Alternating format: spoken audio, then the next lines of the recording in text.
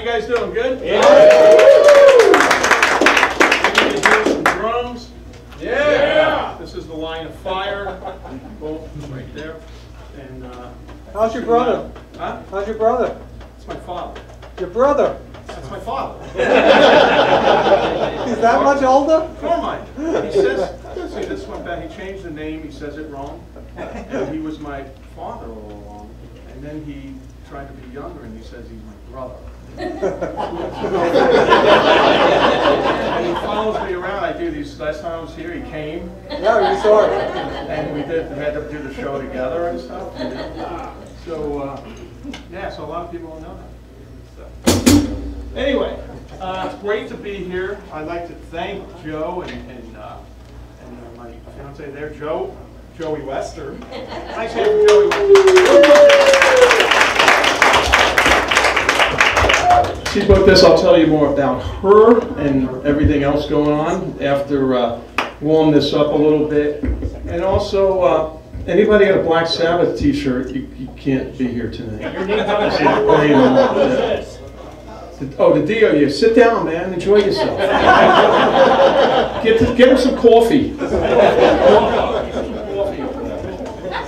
Yeah, where'd you get that shirt? I haven't seen that shirt. It's a bootleg in the forum. Bootleg. Your name was on it, that's the Come on. The name was on it, though, that was the only reason. My name's on it? That, Let me say it again. want your glasses? What's that name, right, it's falling apart, I'm retired after They spelled it, today. oh, they spelled it right. Wow, that's cool. I'm retired. they got- And that's a ukulele in the back, too. The same one, bro. How many drummers we have here? All right, guitar players. I thought they were sitting over there, Joe. Nah, it's all true. Anyway, before I start, I just want to tell you, we got a lot of cool, these things here that, that uh, they put on your seat, these VIP packages. Awesome. Just, uh, these are just good for today, right, for the clinic. Some of this stuff, the bags, uh, these bags and we got sticks, we got shirts, it's just a killer value. So check these out and uh, if you want to get any, go, go that way and they'll take care of you, but these are really cool. So, uh, thank you guys for coming out in uh, Thousand Oaks. And I'm gonna start off playing uh, a song, I got to play with one of the greatest singers in the world Ronnie. right? Ronnie James Dio. So, uh, first album we did was called Holy Diver. All right, and uh, I'm gonna play a song which opened the album up. It's called um, Lost the Line. Oh, yeah, that's good. Uh, Stand Up and Shout. Yeah. Anybody know that one? Stand Up and Shout. A little history of that song. When Vivian Campbell joined the band, the riff and the, actually a lot of the song was a song he did with his old band, which was uh, called Sweet Savage, and the name of the song was Bottle of Wine. And uh, that was the name of the original song, and they came in with it, and we loved it. And then we added some parts to it and, and changed a couple of things around, but the bulk of the song was still something he's done before. So that's a little history. And then there's a lick in the beginning where it goes.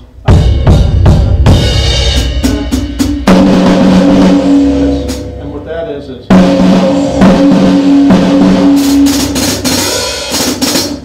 Right, that's the lick that I play. And uh, everywhere, every time I run into Taylor Hawkins from the Foo Fighter and Dave Grohl, they go, man, that lick, man, that lick, what is that lick? And we start playing it. I show them what it is, and, and it's really funny. But they they always talk about that part, you know. So um, that's why I put it in there.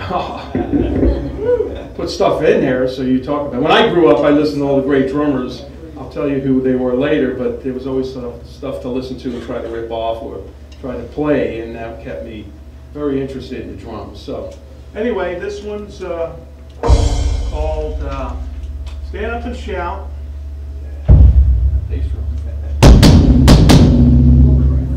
It's too loud. You can you could leave. I had one clinic, and I said, there was a lady and her son, I said, you know, this is gonna be really loud. At that time, I didn't have the front bass drum on. And she said, no, it's okay, but she was embarrassed to get up, but I'm playing and the hair's going boom.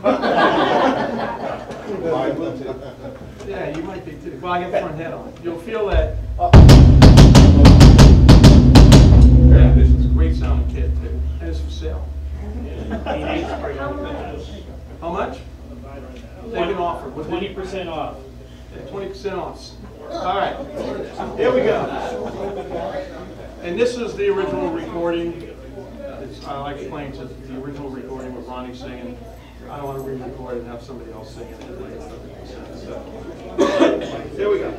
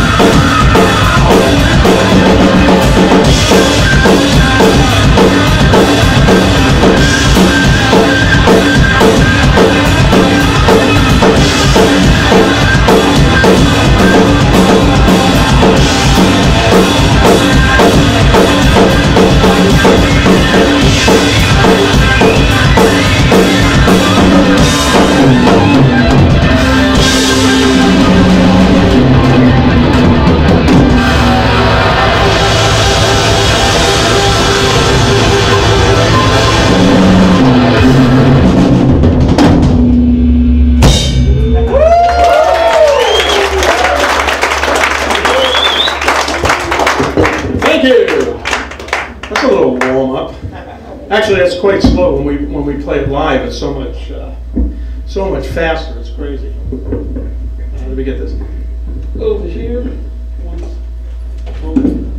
Any questions on uh, while I'm adjusting this? Yeah. Your um, technique uh, with I'm like I'm so. Oh, wait for the mic. And we'd like to welcome the people at home on the couch that's watching this too, right? So, we got a hum there. Okay, you got the mic? Yeah, uh, I just wondered about your uh, right hand stick technique, uh, how you hold the, the grip stick. On the right hand? Unconventional. Yeah. Oh, what I do is, you can see I was playing like this. That's why the tape's there.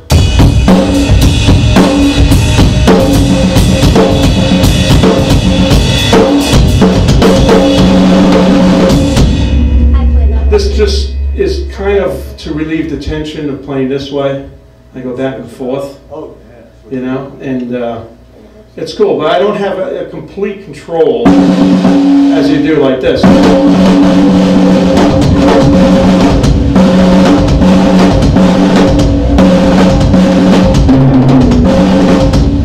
You know, it's there, but it's not com- the control you have this way. And then I also play with, with this way, the butt end of the stick. Does anybody know why? Louder. Lou- Louder and it makes boom. That's close. It's louder and it makes it what? Blow up. Go boom. Boom. Go boom. yeah. So boom. Did you know why? Did you know? You raise your hand? No. No, I play this way because this way is for girls. It is. It's, it's a girl way of playing. When you play like this, like he said, it's louder. You got more wood on the on the drums, and I'm hitting rim shots.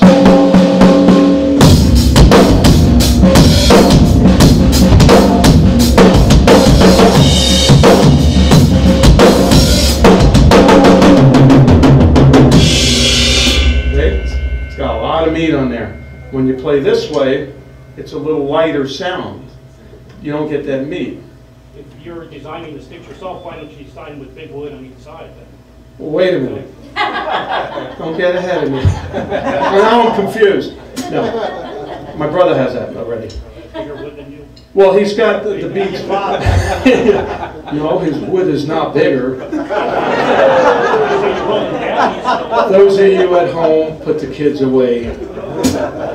This is getting nasty. When I play the same beat with the tip of the stick, it sounds a little lighter. It's different, it sounds like this.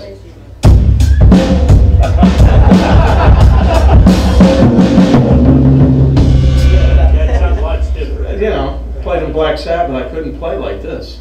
I could play like this. So remember that, guys. Right? This is for girls.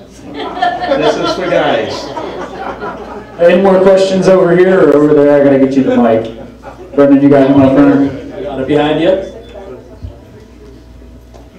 Vinny, playing the reverse sticks like that, does that impact how you play ghost notes? I noticed you snuck a few in uh, first song, but I, there's a Yeah. lot, di- major difference in the dynamics, because there. What, with the butt end? Yeah.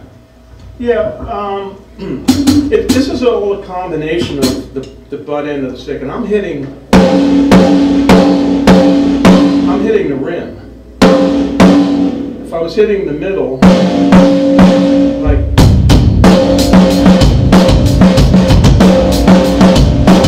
even loud, you still sound like you're hitting the middle of the drum. Now when you're hitting the rim,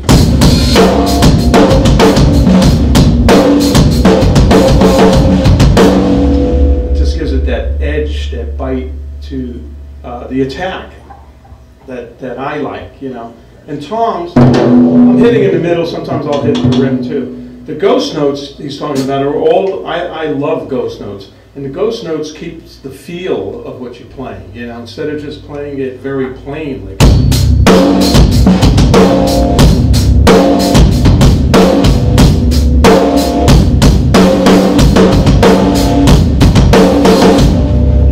you play that with some ghost notes, which are these kind of things.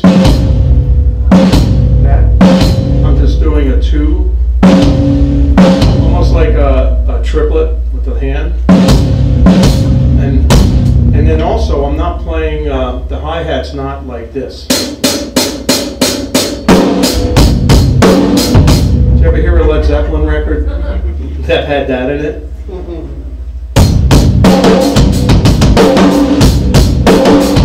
Kashmir. Doesn't work.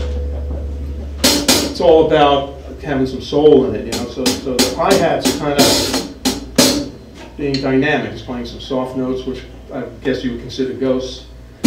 Ghost notes, so that's adding to the feel too. But the ghost notes really give you something, uh, keeps the beat flowing more because there's more uh, notes within the rhythm, keeping it going like it.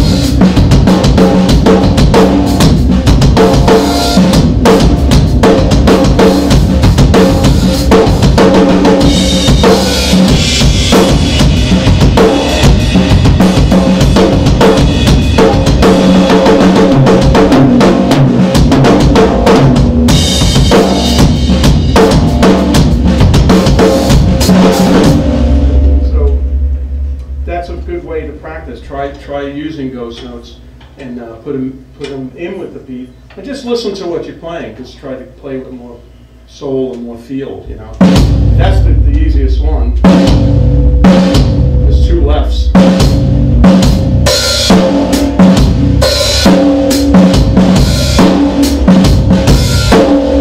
You know. Vinny, Vinny, we had a question online, uh, just real quick. Someone wants to know, have you had any additional trouble, trouble with your, uh, your shoulder since the rotator cuff surgery?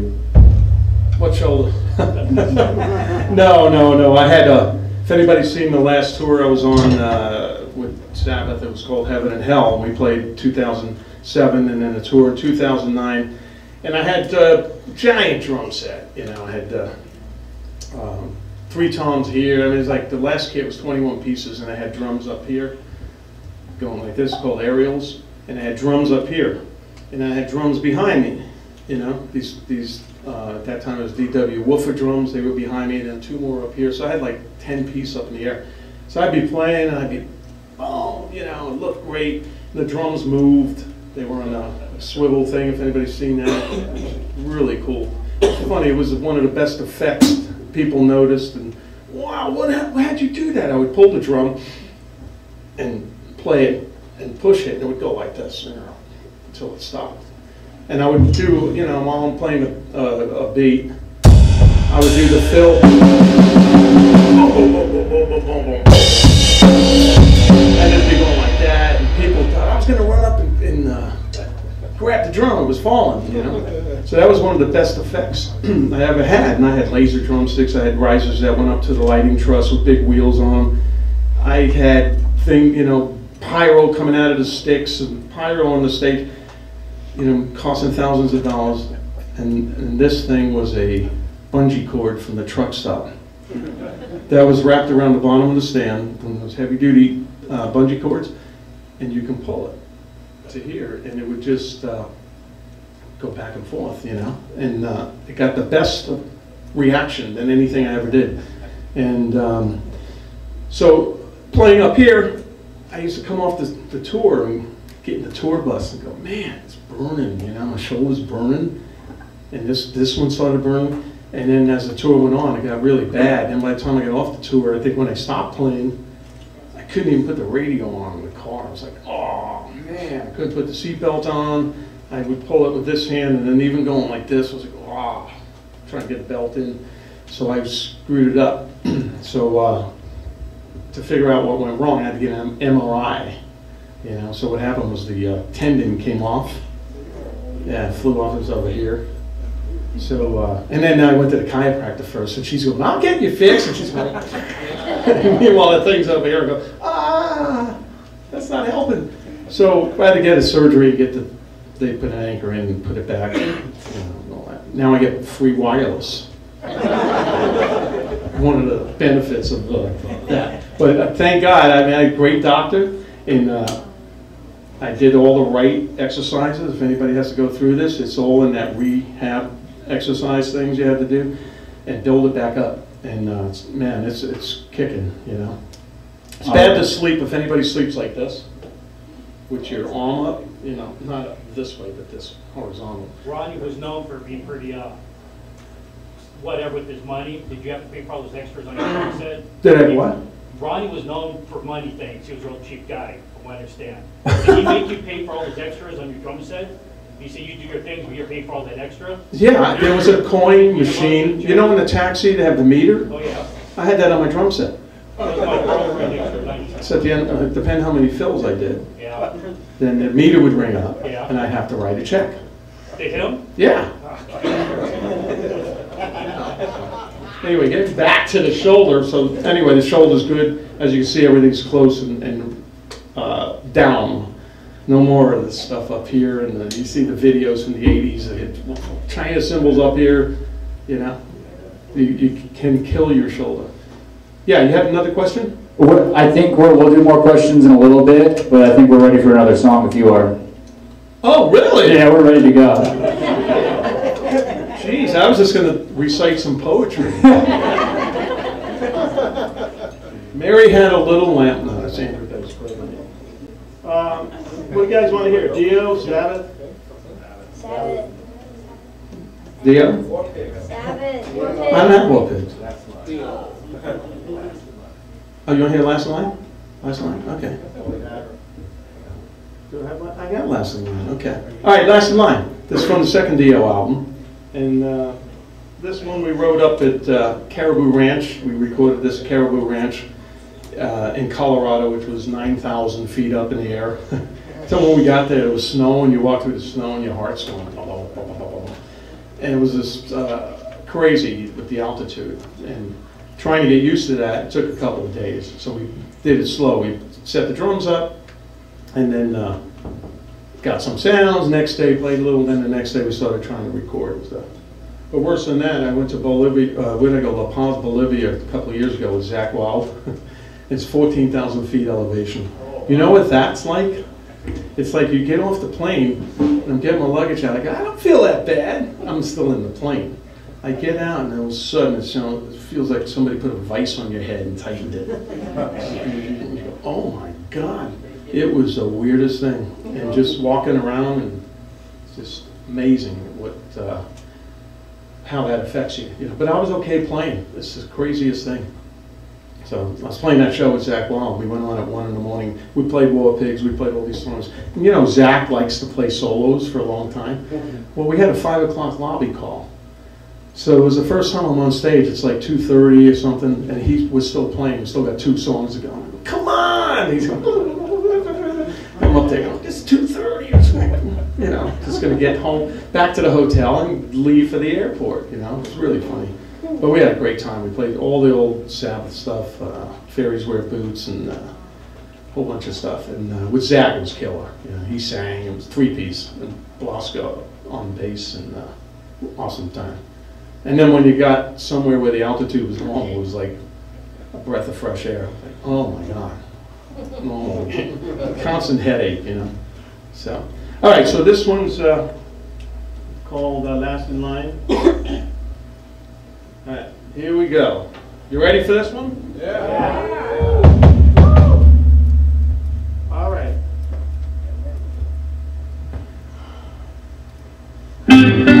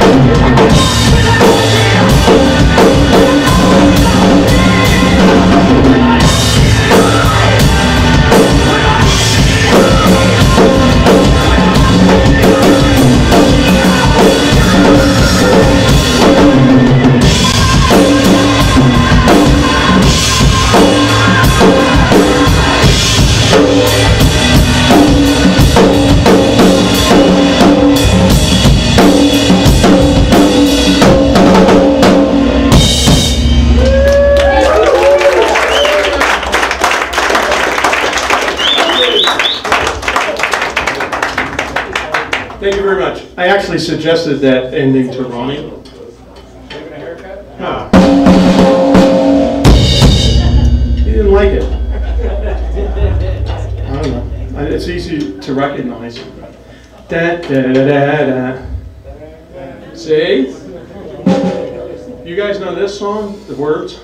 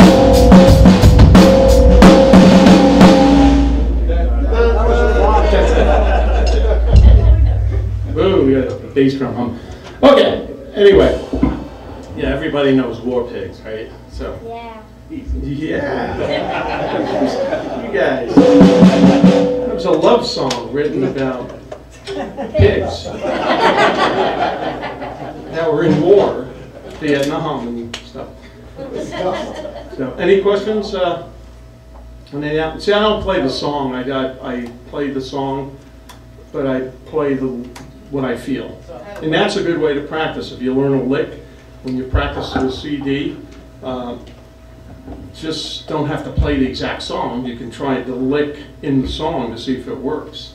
It's a really cool way to practice. Yes. Was there a meaning for? Wait, wait. Do we need a mic? Yep. Yeah. There you go. Yes, my little son.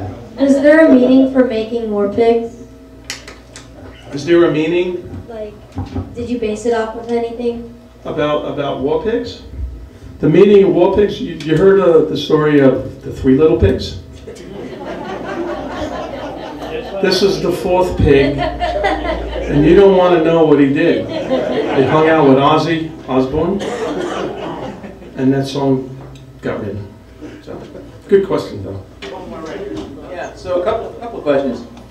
You said earlier that you like to put in a lot of fills and stuff, I mean, a lot of ghost notes and stuff. Do you find that sometimes you, when you work, they say too busy? I mean, is, is too, can it be too much? Uh, no. Never? Okay. Well, here I'm, I'm putting a little bit more in, but Yeah, you know, I, I did this stuff with Dio. You, you know, the great thing about Ronnie was he was one of the greatest vocalists in rock, and we got together and played. If you listen to Holy Diver and these songs, I'm playing over his voice lines. You know, I didn't wait. Like, oh, he's singing, I'll let's stay here. then he stopped, and then I'll do a film. That's what normal people do. You know, I played what I felt with him. A lot of times we gelled together. and I went, yeah, da, ba, ba." like in Last in Line where he goes, when you never, never, never look home.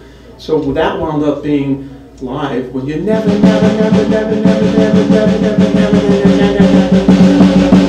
never, you know, me and him together, it just built the whole thing up. Ridiculous. So he never complained, never said a word. And all the bands I played with never said a word. And then about four years ago, I was putting a band together with Rex Brown from Pantera. This first band that we we had, we were trying out different ideas. And the singer uh, we played, then we went out to dinner. and We had a meeting. He goes, "Vinny, you played over my vocal line." I went, "Yeah." Great. Let's do it tomorrow too. I'll do more. so one other one, I got another question. So I had to get up when you were playing before. Who was talking? I'm, I'm talking. Oh, oh, okay, sorry. I had to get up before if you played using a double pedal because your foot was amazing fast. I saw you using one. So could you talk a little bit about about your foot technique on the bass drum? Um, yeah, and unfortunately, I left my pedal at home, which I love my pedal. It's a D drum. They came out with a Mercury pedal, and it's and it's nice and lightweight, and you crank up the spring, and it's so fast. And uh, so I forgot it at home. So this one's just a Ludwig Speed King, which is nice too, and it's fast. So I never played double bass, so I had to rely on one bass drum. So. Uh, You could probably turn the drums down a little bit. Did I say that? Call 911. I can't believe I said that. It's always like, you know, when you're playing the monitor guys, you guys ever play with a, a real monitor guy and you're going, like the guitar player, oh, I know what I'm saying, guitar player, and you're going, and all of a sudden the guitar goes off and the bass is down and so anyway, I'm always saying up. All right, so foot.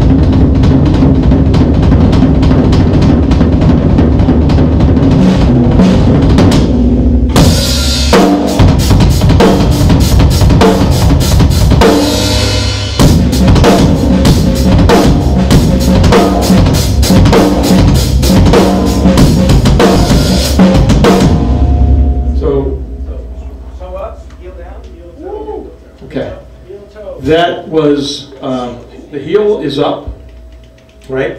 The way this pedal is maxed out is I always put the beater, you know, you slide it in, the beater. Oh, think of something else. The way this is going already. Put the beater in, you slide it into the bottom, flush, then tighten it. So you got, sorry to say this, a stroke. Okay? On the beater. Beater doesn't sound too good either.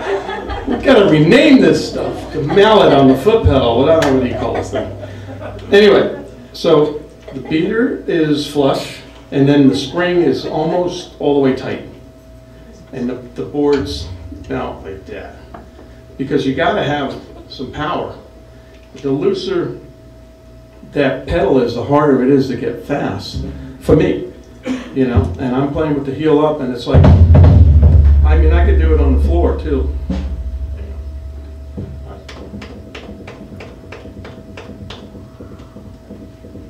See? It's just like a spring, and I'm using mostly my ankle. So if you can do it, like, and you could hear it on the floor practicing this way, then you could do it on the bass drum. It's a little bit more effort. Um, so that's the trick to this. The other thing when you get fast, whoa, you got to be able to hear it too.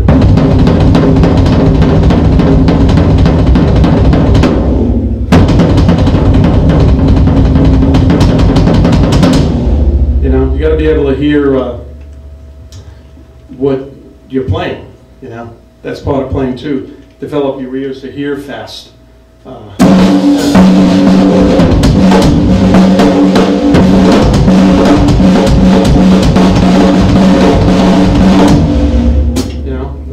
stuff. You got to be able to hear it. Otherwise, you don't hear it as fast. You can't play it as fast. But that develops as you practice. So uh, I never went to double bass drum. Actually, I did for maybe a month or two. And uh, when I was really young, Carmine started playing. My dad started playing the uh, double bass drum. And then uh, now he plays double bass drum to burn more calories. Because he's older now. So I stay with one bass drum. Um, so what I do is I play lead bass drum. I don't just play a lot, like a lot of guys play toppy on the snare, a lot of snare stuff like this.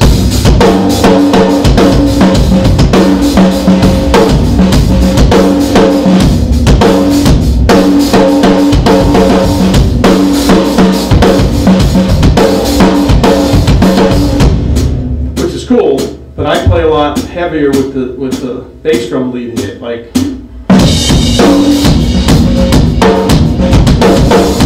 It's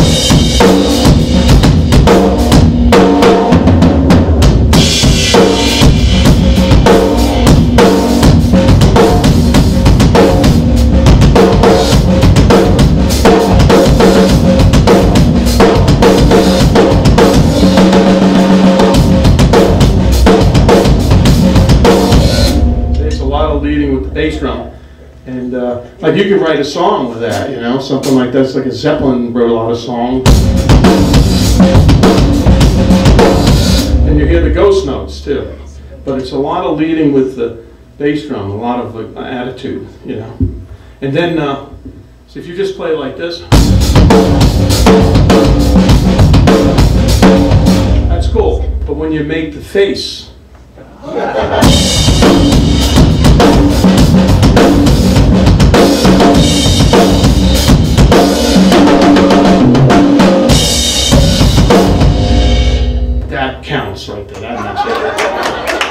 it. Hey, we got, we got a question online for you.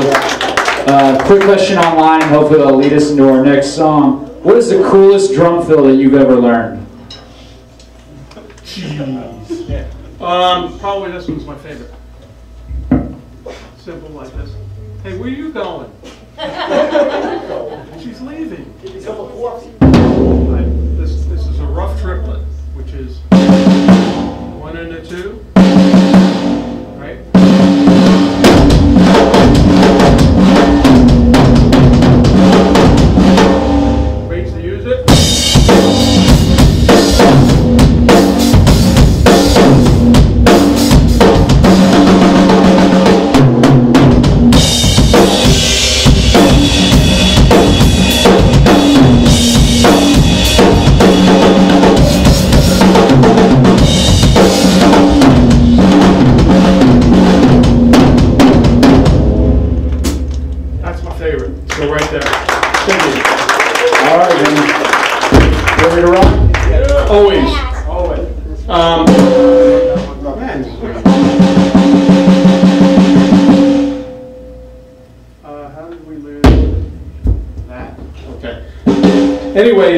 like to, uh, go over the equipment really quick too, because this, this counts too. These are uh, D-Drums Reflex Kit.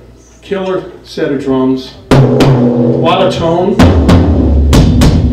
lot of tone to these drums, and they're for sale. That's a joke. But uh, I started playing these uh, at, at clinics I've done, did here before. You know, whenever I do clinics, I send these reflex kits. And uh, I did a tour with them, and Carmine came to one of the shows in New York, and he heard the sound of them, and went, wow, these are great. So him and I are actually trading our kits in the D, D drum to get a new reflex kit, because this is alder wood, different kind of wood. It's got some nice tone to it. So uh, we're actually trading down and getting and getting these. And now they just came out with something else, which is the alder wood on the inside and maple on the outside, which is really cool. Those are called Max uh, Max something Max Super Max. So uh, so so these these are the drums that I'm using and. Uh, Cymbals, these are Istanbul cymbals. Mehmet, not the, there's two Istanbul companies. I don't know if anybody's seen that in, at the NAMM show. Yeah, and uh, these cymbals are uh, different models. This one's a traditional. This one's my brother. I put this one here with his face here. Oh, did I say my brother? Yes, it's my aunt. Smash. But this is a great cymbal. Carmine's got his own uh, line. This is a little heavier cymbal.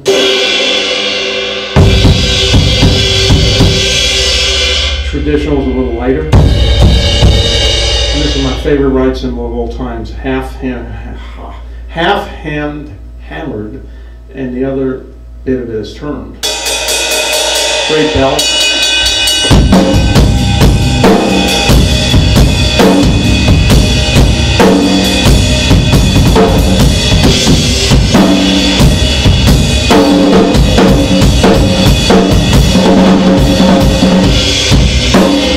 Great sound.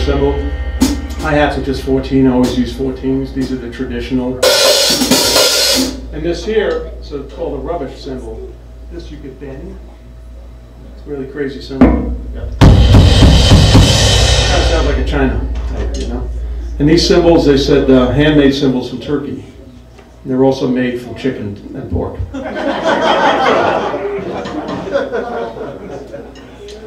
I didn't put that there.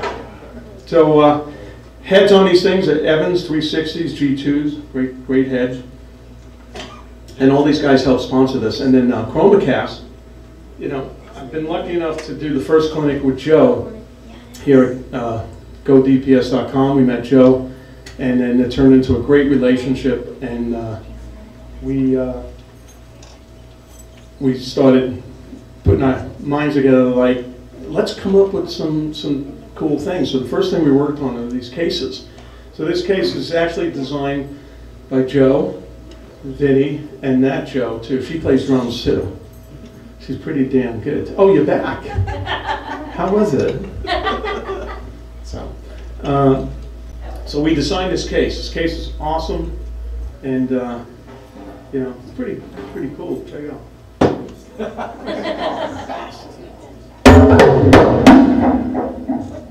Sounds good too.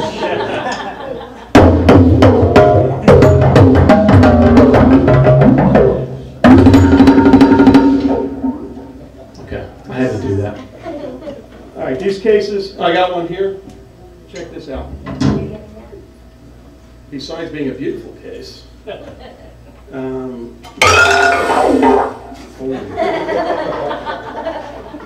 that was the keys flying off. Sorry about that. Uh, this case on the inside, right, it's got this beautiful, come on, right?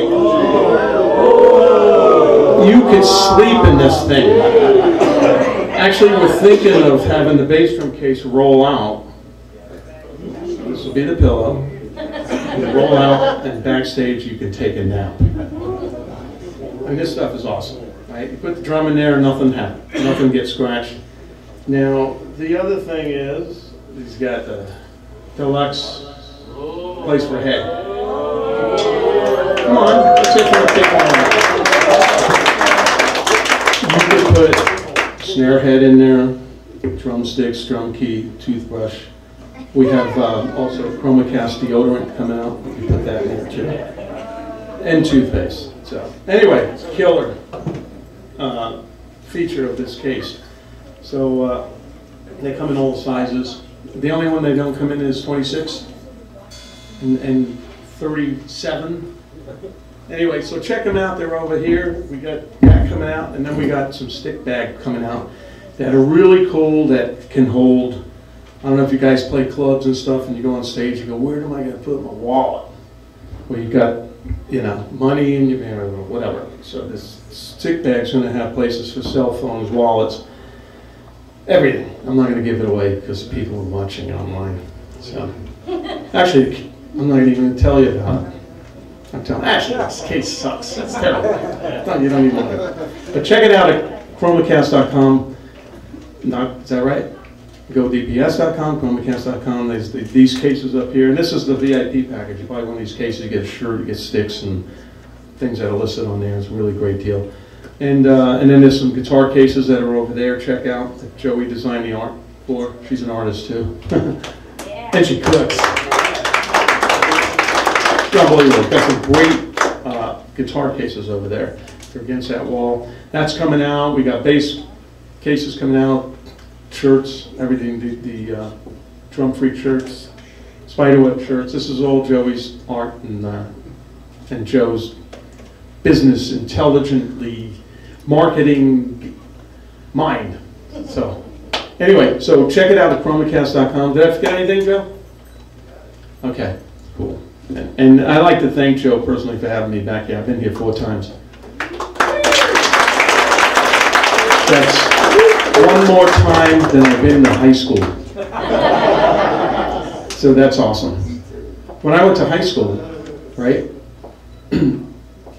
oh, Vic Firth six, right? Evans uh, I got everybody. And uh, Galaxy Audio, who we got some in-ears from, Carmine and I, we started using. And uh, they're fantastic. I didn't use them tonight because it's too, too small of a place. And then uh, Samson Electronics too. And stick around at the end because we got the whole drum mic set like these, but made from Samson, uh, from chicken. Not pork? Not pork. And that's going to be given away. We got Galaxy Audio earbuds. We got some uh, headphones from uh, Samson. We got some sticks and a couple other things. So I'll be doing a VIP thing and I'll be doing a meet and greet. So don't leave. Just hang out and uh, you know, want to take any photos and stuff? That'd be cool. So uh, what was I going to do? I forgot. High pigs. War pigs. I don't think I got war pigs. I'm I do, I do. You do? You get up and sing it? Don't sing for it. Right, so anyway, that's, that's the gear, and, uh, you know, the way we're getting the sound, I'm getting the sound is, is right here. The man, the man sticks, right here. Any questions, or we're gonna move on? Okay, we're gonna keep it going. I'll show you a couple of licks, right? You, you asked about the bass drum, right? The most important thing in playing with drums, you gotta play steady, right? Steady is, is, uh, is the way it sounds professional. Huh? In the pocket, man. In the pocket, right?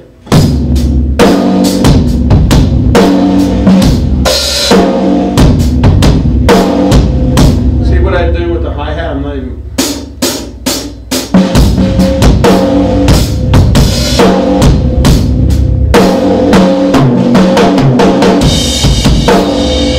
Just right in the pocket, right? Now here's a riff. Let's go to this riff here. And this lays right in the pocket, right? You might recognize the sound of this, who, who this actually is. right? And this is, uh,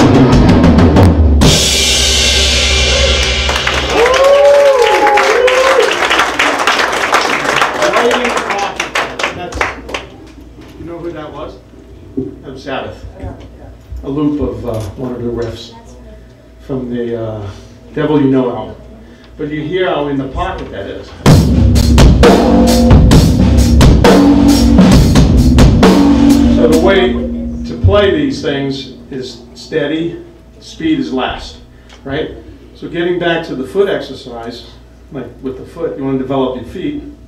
Uh, left, right, right?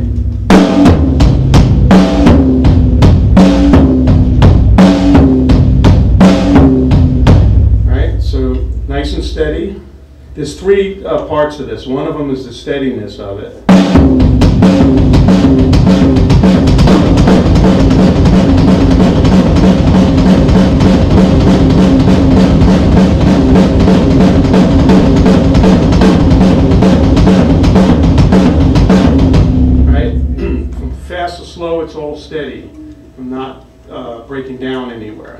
So once it starts breaking down and get and getting sloppy, that's when you want to back off whatever you're playing and try it slower again and get back to playing it steady. Another way is dynamics. You want your hands as loud as your foot.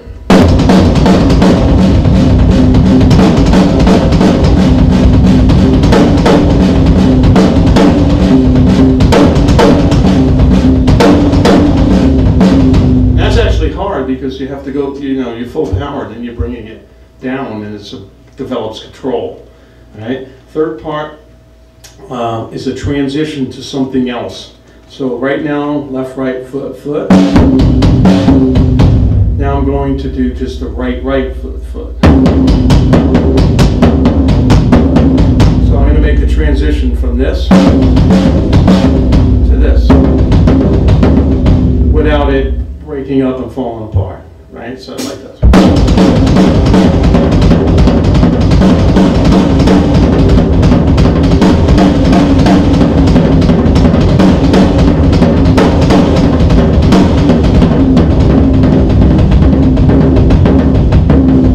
So those are three ways to practice.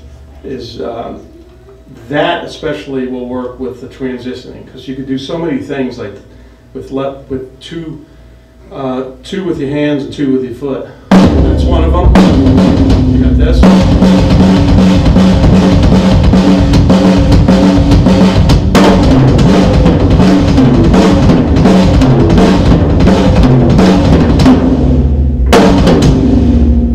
And then you got, uh, uh, you can do two on the hi-hat, two on the snare.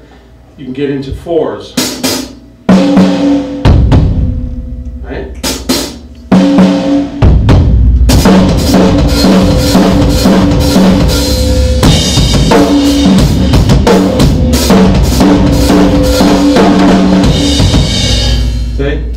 Do it. So you got fours. And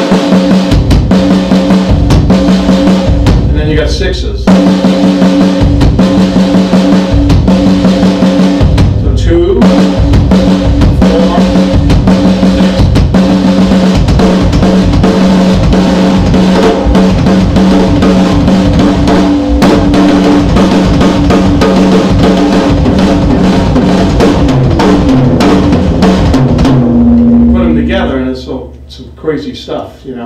But again, you have to play it steady. And then the old jump on them, triplet foot beat is a great exercise. That's just a one and a two and a. So I show this slow because uh, when my teacher taught me, he showed me some things very slow. First he went like this, hey, you want to play this?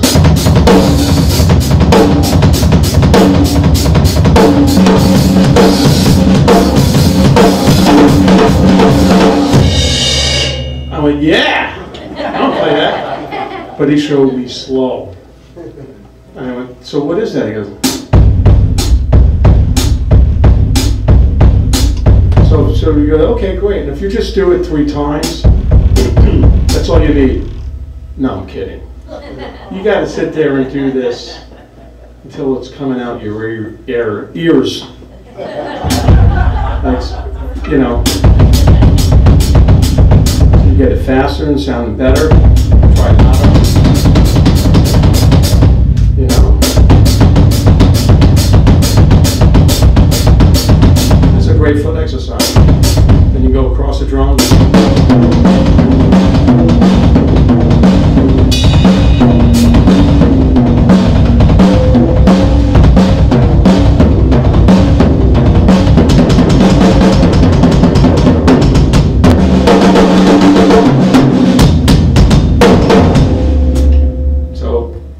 That's uh, the way I teach, slow and then speeds later.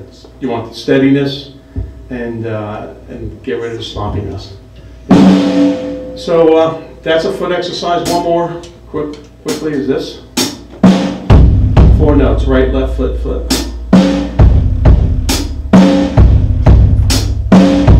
What can I do with that?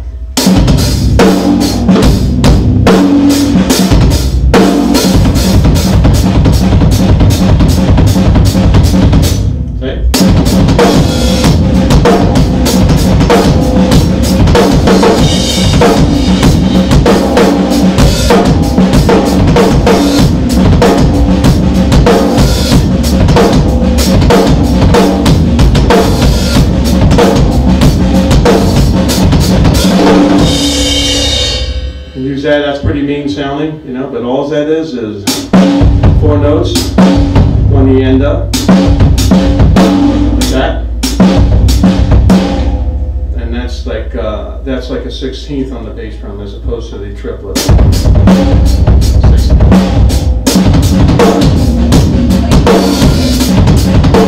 The other thing is too, you know, you gotta play with the feel. I'm not going like this. That's like Wonder Bread. You want whole wheat bread, which is this. How nice? the accent's mainly on the bass drum. Uh, left hand's low in volume.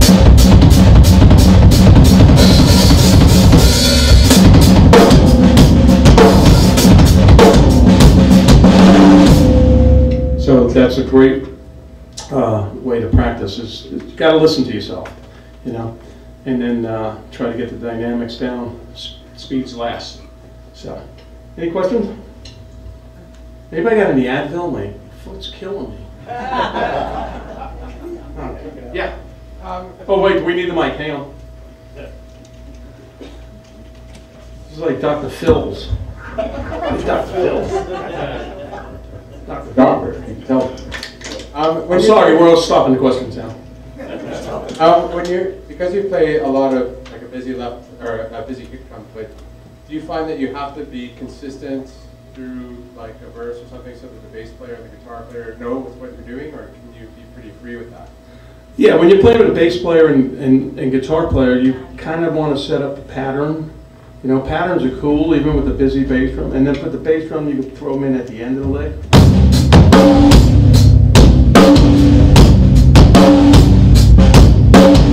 Almost like a guitar riff. So you want to play melodic on the drums. So you do play that in verses. So if you got that going, groove for the bass player and guitar player,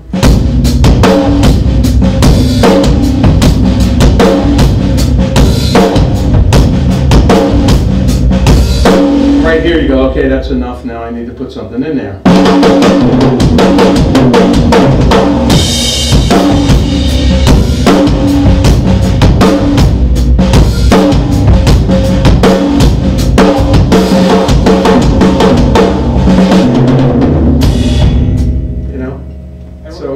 Set it up and then just throw them in, it depends what band you're playing with. Yeah. If they can't play to it, then it's hard, you know?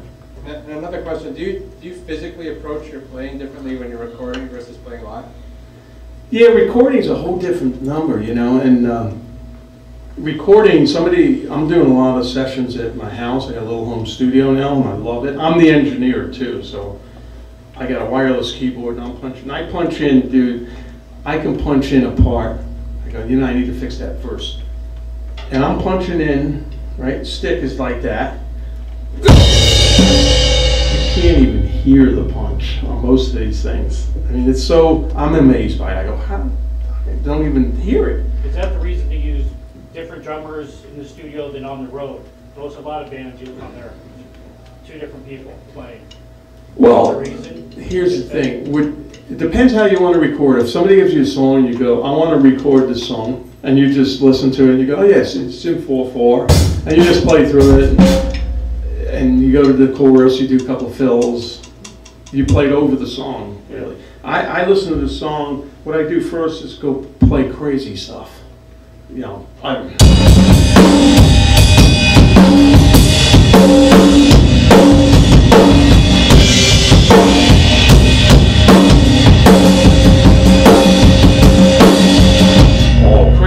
like that, and then I listen to the song and I feel what part fits in there. Sometimes like stuff like that, or you go double up on the bass drum, this is constant quarter notes, eighth notes, and uh, you listen to the part, you go, man, that brings that part out. So I'll listen to that. I'm like painting, like like sheet paints. I, I paint in there. I don't just record the song. And then Phil's the same way. You go, because I'll tell you, sometimes I'm recording and it's just one simple part, and it's a simple beat, and it just doesn't work. I can hear it comes in, and it, and I go over and over and over it. Sometimes I don't get it, and I go, all right, I'll stop, and I'll do it tomorrow, and it'll come tomorrow.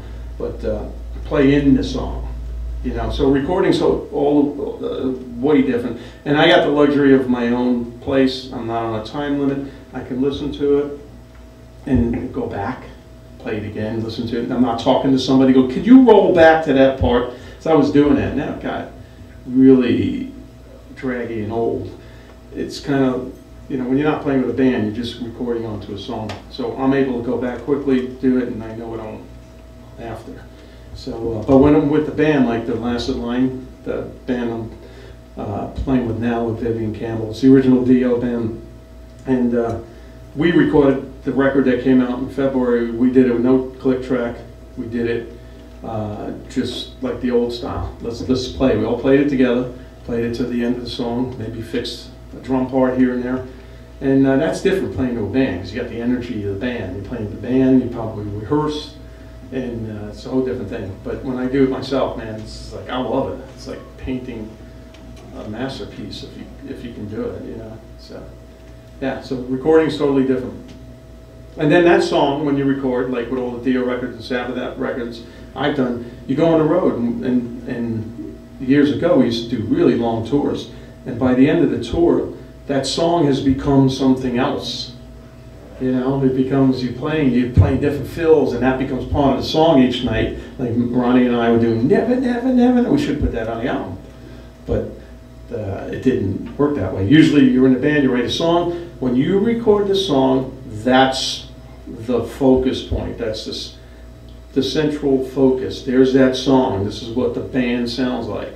You've made uh, a mark. You've made the, the statement that here's a song, and we're done with that song. We do the next song. That's how the whole album comes together. And the band sounds like that. And that's what you look back on. You go, you know, uh, now that they're real they're really recorded, they're not going to change. So that's the song. But then when you're on the road, man, you start playing them, it gets stronger and stronger and stronger, and it becomes a little bit different of a song.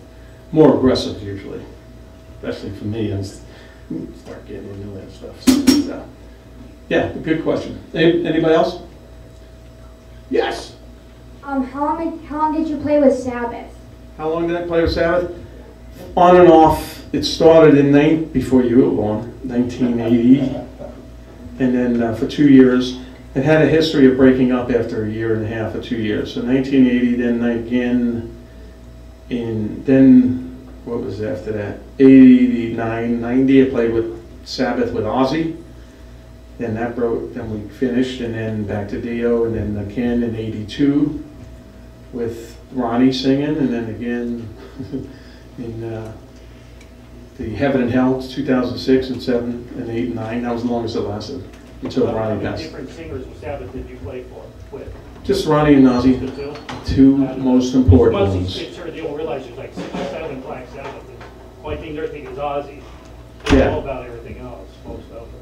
Well, lot- some people tell, that blows my mind. They go, I never heard this stuff with Ozzy. I only heard from Heaven and Hell album one, which is Dio. And it's like, wow, really? It's a whole nother band, you know, it's a whole nother vibe to those songs. It's so cool, you know. I remember listening to Black Sabbath for the first time. So my friends were in his bedroom and uh, puts this on. I go, what is that?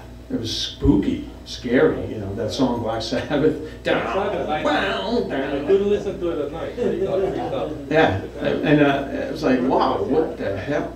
And then, then the drum sound was a very dry drum sound. I was into big sounds, like Bonham had a big sound, and I was into the wet sound. Carmine, my brother, had a big drum sound. And then I heard Bill Ward playing all these parts. I wow, that's so weird. You know, different kind of drum sound.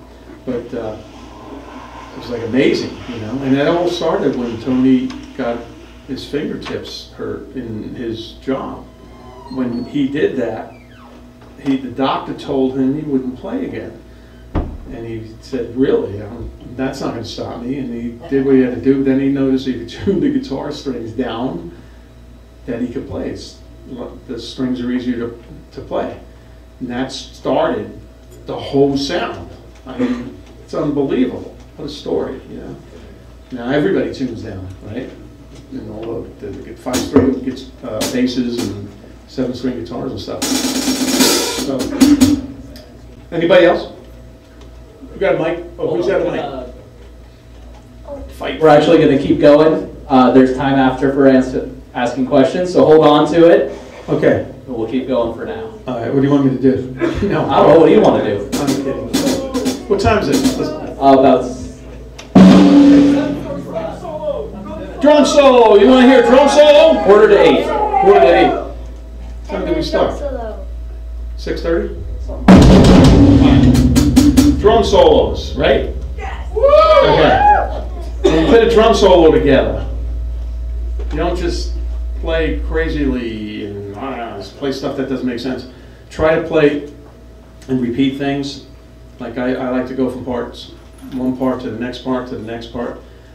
So I know where I'm going, so if I don't feel like this part's happening, I just get through it, then I'll wail on another part and, and improvise a little bit more and then have an ending and this way you have a point to go. You got point A, point B, improvise, point C, big ending, whatever you want to do. And you don't get stuck on, I don't know what to play here, you know, I'm stuck, so it doesn't make sense. All right, so after this, we'll do a couple of questions and then um, stick around, the meet and greet, the VIP and all this stuff uh, we got going on. And, and don't leave because you want to win the mic set and all this cool stuff.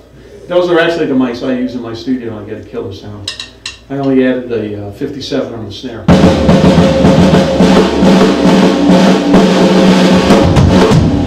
All right.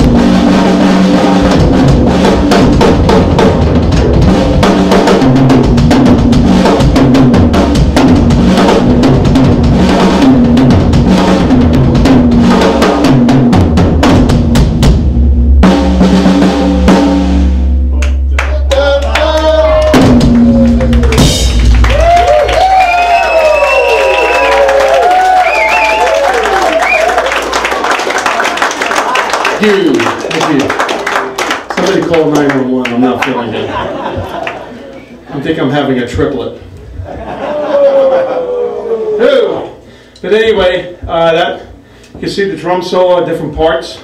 First part. Second part, I double up on the bass drum.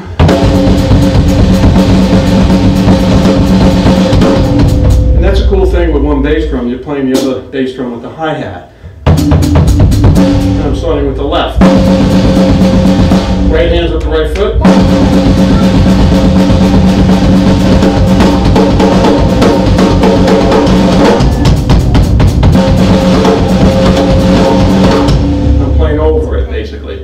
And then, uh, then I slow down, go to beats, go to wherever I feel like in the middle, and then go back to certain parts. So that's a good way to put solos together so you know wh- where you're going and how you're gonna end. We got one question? Sure.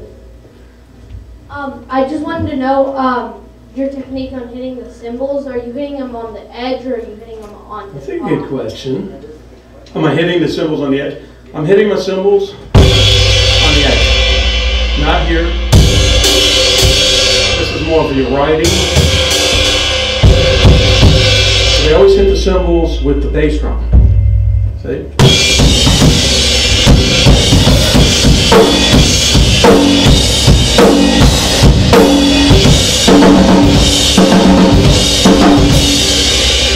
When you hit them without the bass drum, it doesn't sound good. Unless you're using a China or the effect of cymbal and get some accents in there. And for your hi-hat, do you usually have it like all the way closed or a little bit open? All, bo- everything. Look. See, if you play with the close, keys, you could probably bring that down.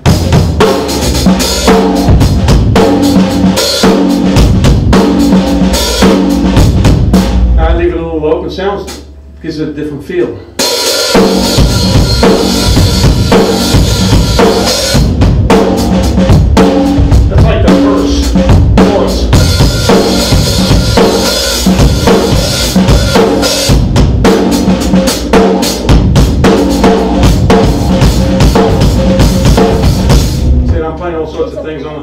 You know. Uh, but open and close, you know. You don't just want to play one level like every beat's the same thing. Sometimes the, the song calls for something closed or open, different feels to it, you know, so you play around with it. But get used to playing um, with the hi-hat in different uh, levels like that. Other things to try to do, these things are pretty easy. You know, it's kind of funky stuff.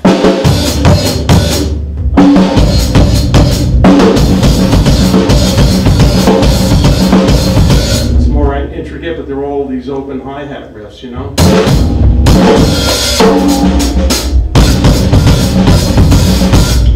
You know, so a lot of rock guys don't use much of the hi-hat that way, you know? 'Cause it adds a feel to it, you know? You know what this is?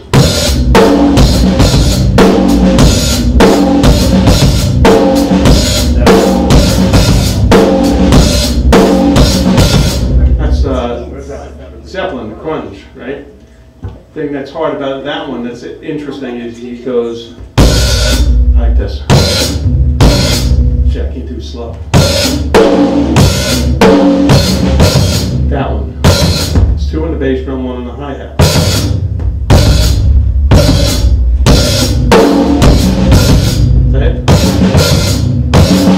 And the ghost notes. So that's an unusual, uh, way Bonham put that in there. It's a great beat.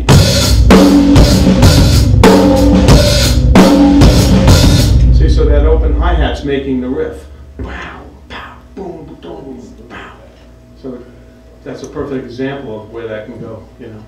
So, okay, so uh, anybody else? Yeah. Wait, we need the mic. So Besides Bonham, which is very obvious, who who else are your influences? My influences When you were a... were Bonham, right?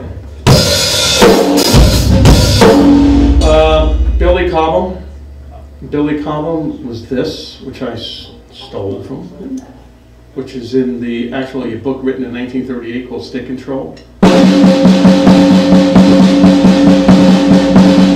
Those. And just roughs. Was Cobham.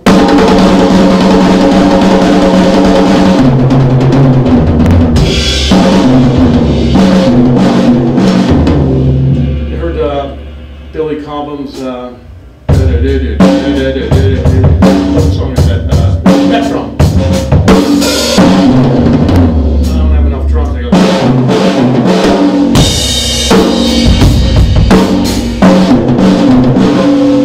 like, what the heck is that? Those are just rough triplets around the toms. And the other ones he did uh, fast.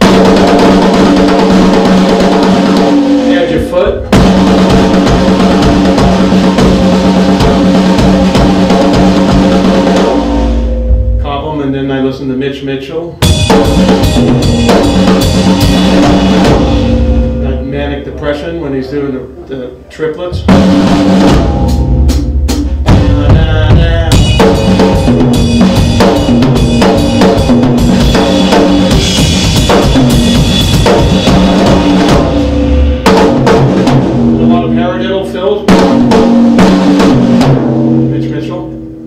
Um, and then uh, Buddy Rich,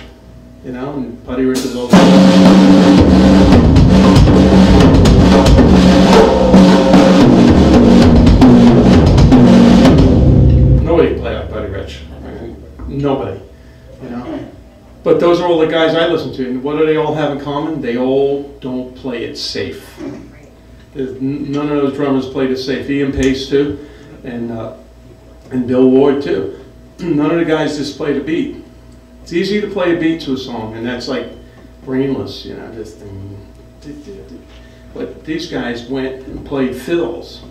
That's how I grew up. I listened to this stuff. I went and uh, wow, what is that? I want to learn that. And back then we had turntables, and they're back in style now, right? But you put it on 16, try to hear what the drummer played, and I would learn licks like that. So when I started recording, that's why Holy Diver's got a lot of fills on it, and Last in Line. So I wanted to put stuff on the on the album that drummers can hear and be inspired by, and go, you know what? That's cool. What is that? I want to play what Vinny played that. So that's the way I grew up, you know. And uh, those guys all played it on the on the dangerous side, playing in between stuff and playing fills and aggressive stuff. And even Ringo, if you listen to the Beatles, he's not technically a drummer, but those parts are brilliant. He didn't just play through songs; they stopped. He played a hi hat. He played a tom thing. Sometimes I don't even know what he played. Like what's in doom doom doo doo doo. What is that? This sounds like this. Mean, just stuff like that. It's creative and it's melodic rather than playing doom. Imagine if Ringo played "Come Together" like like a somebody not thinking about.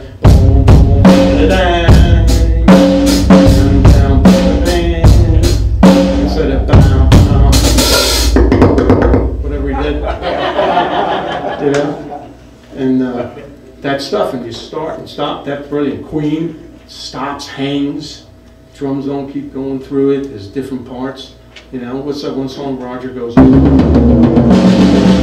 from bot, uh, from here all the way back up. I actually did it on a Derringer song in uh, 1976. I don't know who was first, but they was both cool.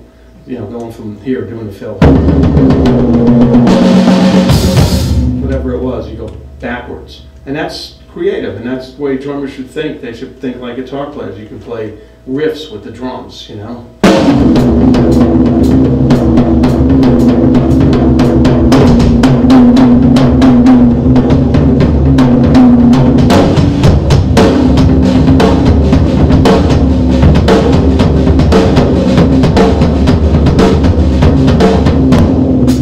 riffs. Those are riffs, licks, whatever you want to call them. But uh, you know, there's a song on here I did with a band called. Uh, play this. I'm not gonna play it. I'll play it for you. This is called uh, Armageddon. It's a band in 1977, right before Black Sabbath. And this is a three-piece band, me, Danny Johnson on guitar, and Jay Davis. And I had this beat, and I couldn't, I had...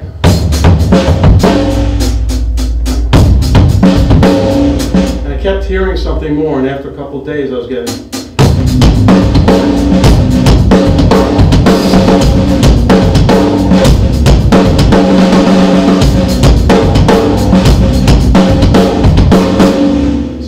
beat, so we wrote a song to it, and this is what anybody can do with drums, check it out.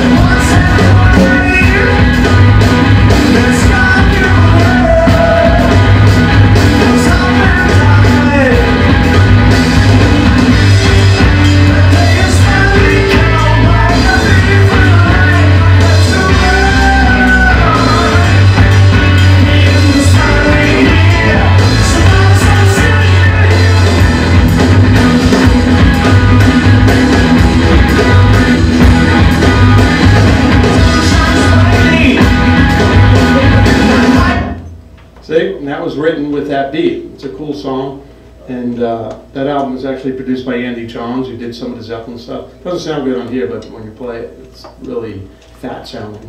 But not a lot of overdubs, but I kept hearing this beat. And one of them, uh, song on the Last in Line album too, that we just released. There's another, there's a song on there that I started and it had some sort of rhythm and I kept hearing it and I developed what I want. I finally got what I heard in my head and we played to it and Vivian played to it. Yeah, I like that. You know, we, we wrote a song with that. So, so don't be afraid if you got some licks, man. Develop them, play them with your band, or, or if you, you know, can record them. Uh, it's cool, cool stuff. A lot of Zeppelin stuff was written from the drums too. You know, so you can hear that. So, all right. So anyway, uh, I want to thank everybody for coming down. You guys are a great audience.